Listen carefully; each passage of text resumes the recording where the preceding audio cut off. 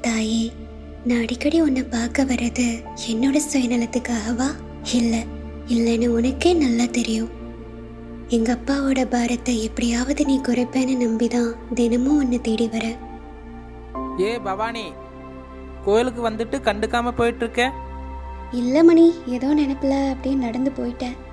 நான் உடன் பிழப்பு எனக்கு காசு கொடுக்குறேன்னு சொன்னேன். இன்னைக்கு நான் சரக்கு அடிச்சே ஆகணும். காசு கொடுக்க முடியுமா? முடியாதா? என்னடா ஆறுமுகம் உன் கூட பிறந்தவன் தானே அவ. அப்பா அம்மாக்கு மாத்திரை மருந்து வாங்கி தரணுங்கிறா? நீ தண்ணி அடிக்க காசு கேட்குற இந்த வயசுல அவனோட சேர்ந்து உழைக்கிறத விட்டுட்டு ஊதாரித்தனமா தண்ணி அடிச்சிட்டு இருக்க? ஏய் யாரை பார்த்து ஊதாரின்ற? ஏய் யார பத்து கைய ஊங்குற கைய ஊங்குற கை விடு, விடு. ஊங்குவ? பவனி ஊங்குவ? வேணாம் பவனி ஊங்குவியா? வலிக்குது வலிக்குது. ஆ. வேண்டாமா அட்டு தாடி அடிக்கிறதுக்குள்ள ஓடிடு. என்ன மச்சி? துட்டு வாங்கிட்டு போனேன் நான் என் தம்பிகிட்ட காசு வாங்க தான் போனேன். இங்கே ரெண்டு பிரச்சனையில் இந்த பவானி என்னை அடிச்சிட்டாடா. போயும் போயும் ஒரு பொம்பளை அடி வாங்கிட்டு வந்திருக்கு. வெக்கமா இல்லை உனக்கு? போ.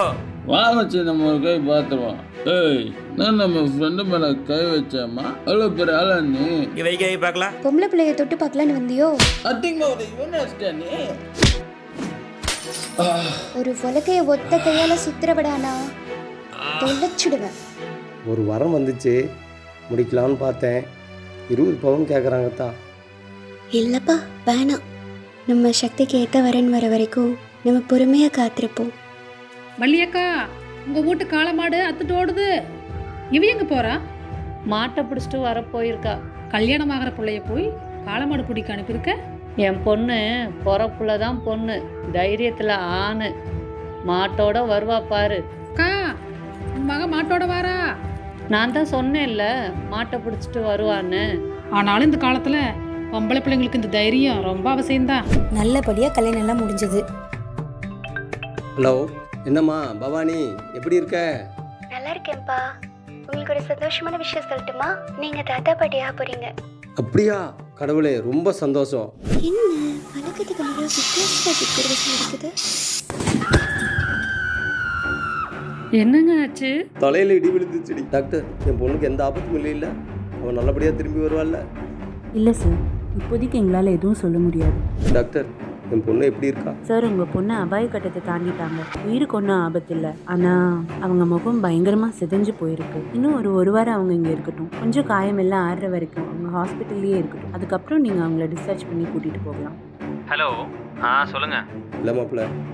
பவானி ஆஸ்பத்திரிலேருந்து டிஸ்சார்ஜ் பண்ணுறோம் அதான் என்ன பண்ணுறதுன்னு உங்களை கேட்கலான்னு கூப்பிட்டேன். அப்படியா? சரி டிஸ்சார்ஜ் பண்ணி உங்கள் வீட்டுக்கு கூட்டு போயிருங்க. அப்புறம் என்னங்கிறத நான் ஃபோன் பண்ணி சொல்கிறேன் வாங்க மாப்பிள்ள வள்ளி மாப்பிள்ள வந்திருக்காரு. குடிக்க ஏதாவது எடுத்துட்டு வா. நிறுத்துங்க நிறுத்துங்க. உங்கள் வீட்டில் வந்து உட்காந்து விருந்து சாப்பிட்ற நிலமையில நான் இல்லை. அதுக்கு நான் வரவும் இல்லை.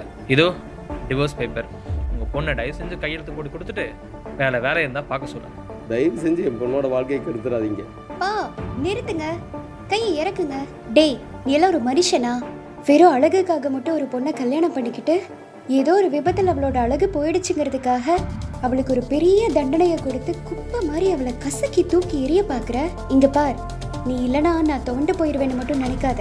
நான் சாதிச்சு காட்டுவேன். படிப்பறிவே இல்லை. நீ எல்லாம் என்னத்தை சாதிச்சு கிளிக்க போற? இதுக்கப்புறம் நான் மறுபடியும் படிச்சு நான் சாதிச்சு காட்டுவேன். கடைசி வரைக்கும் எங்க அம்மா அப்பாவோட சந்தோஷமா இருப்பேன். முறைக்காதடா. வெளியில போ.